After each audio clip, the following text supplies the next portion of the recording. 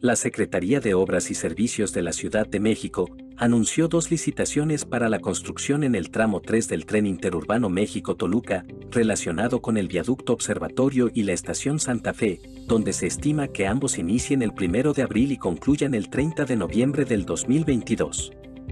La primera licitación se refiere a la construcción de un viaducto elevado en observatorio de conexión con la estación terminal, que estará ubicado en el frente de trabajo denominado Calle Minas de Arena